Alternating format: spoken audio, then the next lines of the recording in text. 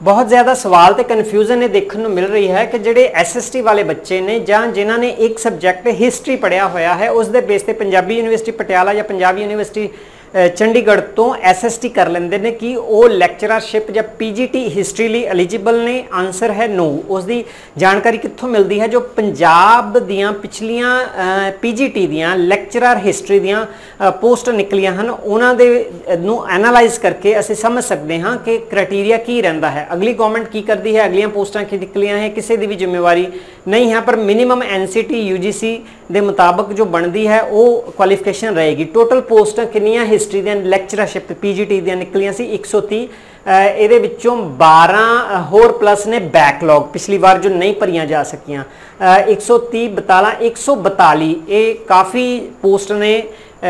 History ਦੀ ਇਹਦੀ ਬਾਈਫਰਕੇਸ਼ਨ ਦੇਖ ਸਕਦੇ ਹੋ। ਟੋਟਲ ਵੈਕੈਂਸੀ ਹੈ ਕੈਟਾਗਰੀ ਹੈ ਸਬ ਕੈਟਾਗਰੀ ਹੈ, ਹਨਾ? Ex serviceman general M and B R O B C ਉਹਦੀ ਸਬ ਕੈਟਾਗਰੀ ਹੌਰੀਜ਼ੌਂਟਲ ਇਸ ਤਰਫ ਫੀਮੇਲ ਦੀ ਜੋ ਜੋ ਹੈ, ਇਹ ਇਹ ਰਹੀ, ਹਾਂ ਟੋਟਲ ਨੰਬਰ ਆਫ ਵੈਕੈਂਸੀ ਹੈ total number of backlog vacancy ਹੈ, ਇਸ, ਇੱਥੇ ਫੀਮੇਲ ਦੀ ਵੀ ਹੋਏਗੀ। ਚਲੋ, ਨਹੀਂ ਹੈ, ਅੱਗੇ ਚੱਲਦੇ ਹਾਂ ਇਹ ਦੇਖਣ ਲਈ।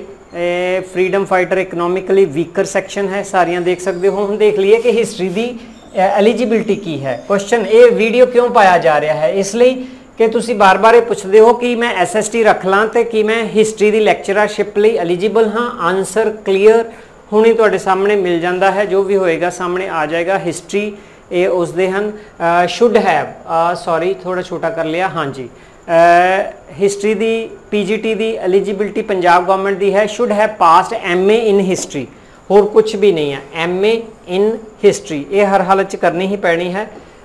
ਨੰਬਰ 2 ਐਟ ਲੀਸਟ ਵਿਦ 55% ਹੁਣ ਤੱਕ ਜਿੰਨੀਆਂ ਵੀ ਪੀਜੀਟੀ ਦੀਆਂ ਪੋਸਟਾਂ ਹਨ 55% ਬਿਨਾ ਰਾਉਂਡ ਕੀਤੇ ਮੰਨੇ ਜਾ ਰਹੇ ਨੇ।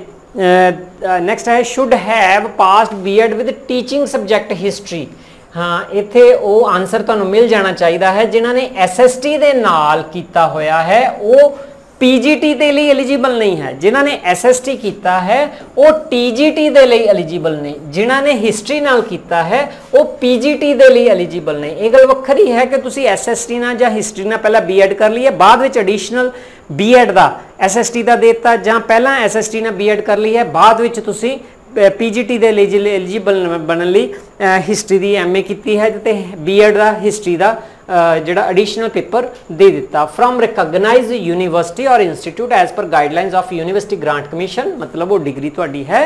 ਉਹ ਯੂਨੀਵਰਸਿਟੀ ਗ੍ਰਾਂਟ ਕਮਿਸ਼ਨ, ਉਹ ਇੰਸਟੀਚਿਊਟ ਜਿੱਥੋਂ ਤੁਸੀਂ ਕਰਨੀ ਹੈ, ਉਹ ਯੂਨੀਵਰਸਿਟੀ ਜਿੱਥੋਂ ਕਰਨੀ ਹੈ, ਉਹ ਯੂਨੀਵਰਸਿਟੀ ਗ੍ਰਾਂਟ ਕਮਿਸ਼ਨ ਦੇ ਮੁਤਾਬਕ ਹੋਵੇ should have studied history and an elective subject ਹੁਣ ਪੰਜਾਬ ਹਿਸਟਰੀ ਐਂਡ ਕਲਚਰ ਜਾਂ ਤੁਸੀਂ ਤਿੰਨਾਂ ਸਾਲਾਂ ਚੋਂ 2 ਸਾਲ ਪੜਿਆ ਹੈ 1 ਸਾਲ ਪੜਿਆ ਹੈ 1.5 ਸਾਲ 3 ਸਮੈਸਟਰ ਚ ਪੜਿਆ ਹੈ, ਇਹ ਉਹ ਸ਼ਖਸ ਐਲੀਜੀਬਲ ਨਹੀਂ ਹੈ ਪੀਜੀਟੀ ਪੋਸਟ ਲਈ ਇਲੈਕਟਿਵ ਸਬਜੈਕਟ ਬਾਰ-ਬਾਰ ਮੈਂ ਹਰ ਵੀਡੀਓ ਚ ਬ- ਵਰਤਦਾ ਹਾਂ। For a period of 3 year ਹਰ ਹਾਲਤ 'ਚ 3 ਇਅਰ ਇਸ ਲਈ ਇਸ ਦਾ ਸੋਲੂਸ਼ਨ ਕੀ ਹੈ ਕਿ ਤੁਸੀਂ ਐਡੀਸ਼ਨਲ ਪੇਪਰ ਦੇ ਸਕਦੇ ਹੋ ਹਿਸਟਰੀ ਦੇ। ਹਿਸਟਰੀ ਸਭ ਤੋਂ ਜ਼ਿਆਦਾ ਇੰਪੋਰਟੈਂਟ ਸੋਸ਼ਲ ਸਾਇੰਸ ਵਾਲਿਆਂ ਲਈ ਸਬਜੈਕਟ ਕਿਉਂ ਹੈ ਸਭ ਤੋਂ ਰੈਂਕ 1 ਨੰਬਰ 1 ਕਿਉਂਕਿ ਇਹ ਪ੍ਰੈਕਟੀਕਲ ਸਬਜੈਕਟ ਨਹੀਂ ਹੈ। ਪ੍ਰੈਕਟੀਕਲ ਸਬਜੈਕਟ ਨਾ ਹੋਣ ਦੇ ਕਾਰਨ ਤੁਸੀਂ ਐਡੀਸ਼ਨਲ ਕਿਸੇ ਵੀ ਯੂਨੀਵਰਸਿਟੀ ਤੋਂ ਦੇ ਸਕਦੇ ਹੋ। For example Punjabi university Patiala practical subject ਦੇ ਐਡੀਸ਼ਨਲ ਪੇਪਰ ਨਹੀਂ ਲੈਂਦੀ ਤੇ ਹਿਸਟਰੀ ਇਹਦੇ ਵਿੱਚ ਆਂਦਾ ਹੈ, ਤੁਸੀਂ ਹਿਸਟਰੀ ਦੇ ਉੱਥੋਂ ਦੇ ਸਕਦੇ ਹੋ, ਲੇਕਿਨ ਜੀਓਗ੍ਰਾਫੀ ਵੀ ਇਹ 'ਚ ਸ਼ਾਮਿਲ ਹੈ ਇਕੁਇਵਲੈਂਟ ਹੈ।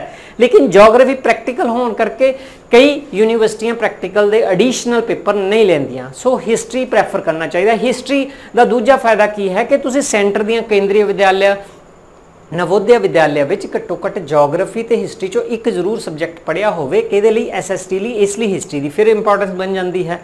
ਨਾਰਮਲੀ ਸਕੂਲਾਂ ਵਿੱਚ ਵੀ ਹਿਸਟਰੀ ਪ੍ਰੈਫਰ ਕੀਤੀ ਜਾਂਦੀ ਹੈ। ਫਰਮ ਰਿਕਗਨਾਈਜ਼ਡ ਯੂਨੀਵਰਸਿਟੀ ਇੰਸਟੀਚਿਊਟ ਹੋ ਗਿਆ ਹੈ ਇਹ ਪੀਰੀਅਡ ਆਫ 3 ਇਅਰ ਸੋ ਤੁਸੀਂ ਐਡੀਸ਼ਨਲ ਆਪਣਾ ਕਿਸੇ ਵੀ ਆਪਣੀ ਯੂਨੀਵਰਸਿਟੀ ਤੋਂ ਦੇ ਕੇ ਕਿਉਂਕਿ ਪੰਜਾਬੀ ਯੂਨੀਵਰਸਿਟੀ ਪਟਿਆਲਾ ਦੂਸਰੀ ਯੂਨੀਵਰਸਿਟੀਆਂ ਨੂੰ ਵੀ ਕਰਵਾ ਦਿੰਦੀ ਹੈ ਲੇਕਿਨ ਦੂਸਰੀ ਸਟੇਟ ਨੂੰ ਨਹੀਂ ਕਰਵਾਉਂਦੀ। ਅ, ਤੇ ਇਹ ਇਹ- ਇੱਥੋਂ ਤੁਸੀਂ ਕਰ ਸਕਦੇ ਹੋ। ਕੋਈ ਜਾਣਕਾਰੀ ਇਸ ਦੇ ਰਿਗਾਰਡਿੰਗ ਹੋਰ ਚਾਹੀਦੀ ਹੋਵੇ ਪੁੱਛ ਸਕਦੇ ਹੋ। ਇੱਥੇ ਤੱਕ ਇਹਦੇ ਮੁਤਾਬਕ ਤੁਸੀਂ ਆਪਣਾ ਸਬਜੈਕਟ ਕੰਬੀਨੇਸ਼ਨ ਪ੍ਰੈਫਰੈਂਸ ਤੁਸੀਂ ਹੀ ਬਣਾਣੀ ਹੈ ਕਿ ਤੁਸੀਂ ਪੀਜੀਟੀ ਪਹਿਲਾਂ ਪ੍ਰੈਫਰ ਕਰਦੇ ਹੋ ਜਾਂ ਟੀਜੀਟੀ ਲਈ? ਕਿਉਂਕਿ ਟੀਜੀਟੀ ਦੀਆਂ ਪੋਸਟਾਂ ਕਿੰਨੀਆਂ ਹਨ? ਮੈਂ ਨੈਕਸਟ ਵੀਡੀਓ 'ਚ ਦੱਸ ਦਾਂਗਾ ਜਿਹੜੇ ਐਸਐਸਟੀ ਹਿਸਟਰੀ ਵਗੈਰਾ ਹਿਸਟਰੀ ਤਾਂ ਨਹੀਂ ਆਏਗਾ। ਹਿਸਟਰੀ ਦੇ ਬੇਸ ਤੇ ਐਸਐਸਟੀ ਜਿਹੜਾ ਕੀਤੀ ਹੈ ਉਹਨਾਂ ਨੂੰ ਫਾਇਦਾ ਹੋ ਜਾਏਗਾ। ਕੋਈ ਹੋਰ ਜਾਣਕਾਰੀ ਚਾਹੀਦੀ ਹੋ ਪੁੱਛ ਸਕਦੇ ਹੋ। Thank you doctor Dheeraj Singh